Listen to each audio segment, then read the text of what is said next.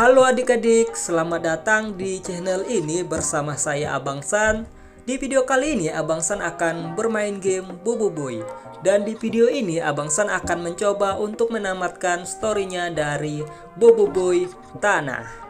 Di video sebelumnya, Abang San sudah pernah ya mencoba untuk menamatkan storynya, tapi Abang San gagal.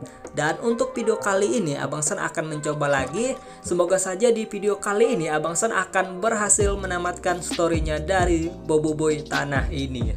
Baiklah adik-adik, sebelum kita melanjutkan video ini, alangkah baiknya kalian untuk mensubscribe channel ini, bantu channel ini untuk mencapai 100.000 subscriber.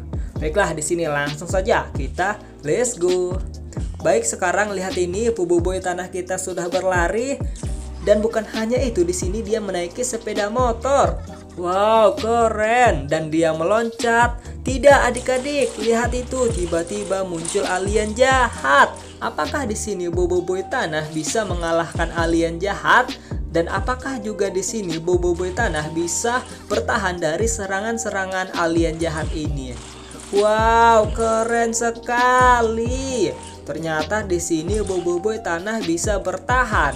Bukan hanya bisa bertahan, di sini dia juga bisa mengalahkan alien jahat dengan sekali pukul, yaitu dengan menggunakan jurus pukulan tanah. Wow, keren sekali. Dan di sini boboiboy tanah berubah menjadi boboiboy api. Wow, keren. Ternyata boboiboy tanah bisa berubah menjadi boboiboy api, adik-adik.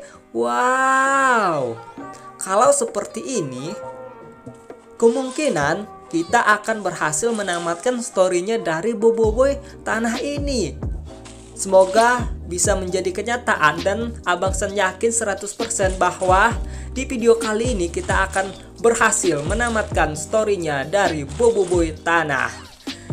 Ya adik-adik ternyata di sini Abang Sen salah. Di sini Bobo Boy terkena duri-duri beracun dan membuat kita gagal. Kalau kita gagal berarti kita tidak berhasil menamatkan storynya dari Bobo Boy Tanah. Baiklah adik-adik, karena di sini kita sudah gagal, jadi untuk video kali ini sampai di sini saja dulu dan sampai berjumpa di video berikutnya.